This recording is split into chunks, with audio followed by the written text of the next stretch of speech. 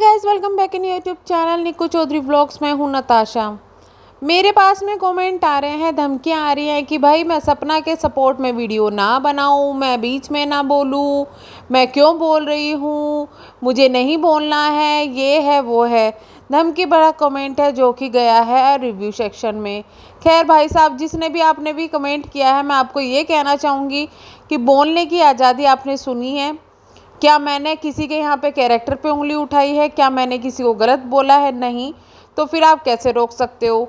अगर आपको इतनी प्रॉब्लम है, आप जो भी हो कि सपना के नाम पर क्यों बोल रही हो, या फिर जब मुझे सच्चाई नहीं पता, मैं क्यों बोल रही हूँ तो सच्चाई तो बहुत कुछ दिखाई दे रही है भाई साहब, और अभी वीडियो में भी दिखाई देने वाली है।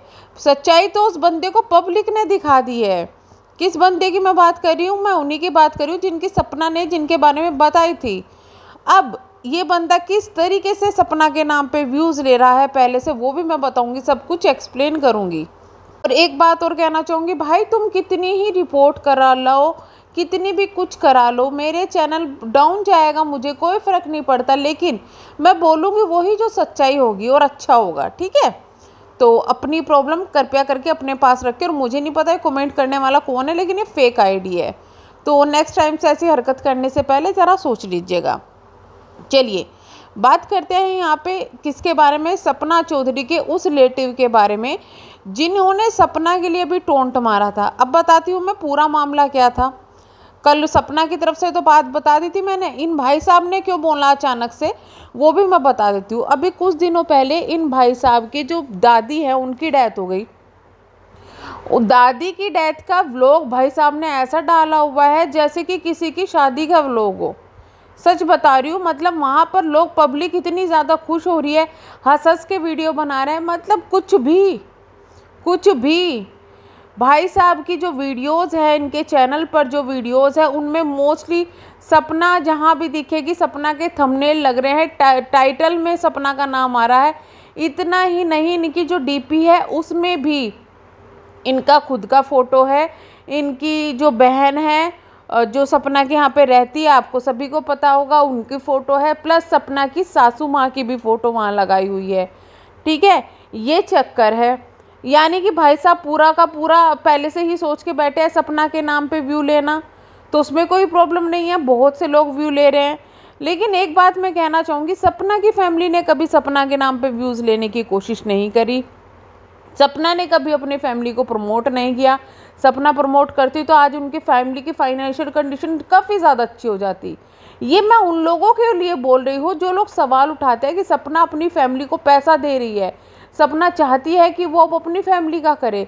जिन लोगों को डर है कि सपना अपनी फैमिली को कहीं पैसा ना देने लगे तो उन लोगों के लिए एक आई ओपनर है। भैया, उसको देना होता वो पहले अपनी फैमिली को स्टैंड करती और उसको मैं तो कहती हूँ, उसको करना चाहिए। फ़िलहाल उसको करना चाहिए। अगर वो ऐसा करती है उसकी फैमिली की हालत जो है वो और ज़्यादा अच्छी होती है तो ये बहुत अच्छी बात है, क्योंकि वो लोग भी काफ़ी टाइम से कुछ, बहुत कुछ झेलते आ रहे हैं। कब तक ये चीज़ें देखेंगे? जब दूसरे लोग जो आपका फ़ायदा उठा रहे हैं, ऊपर से आप ही को बुरा बना रहे हैं तो आप अपनी फैमिली को फ़ायदा क्यों ना दें? इतना ही नहीं, अब लोग सवाल ये कर रहे थे, इनके चैनल का जो नाम है तो आप इनके चैनल का नाम सर्च कर लीजिएगा। स्नैपी बॉय अगर आप डालेंगे तो इनका नाम भी साथ में आ जाएगा। नाम के साथ में इनका डी से नाम शुरू होता है और स्नैपी बॉय अगर आप डालेंगे, तब नाम आ जाएगा। तो स्नैपी गर्ल से स्नैपी बॉय भी चुराया हुआ है।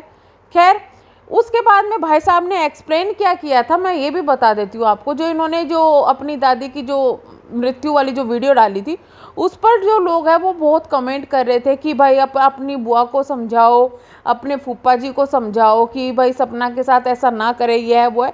यह है लगभग एक महीना पहले की बात जब सपना के घर में प्रॉब्लम हो रही थी। क्योंकि सपना को लोग बहुत चाहने वाले हैं बहुत पसंद करने वाले हैं।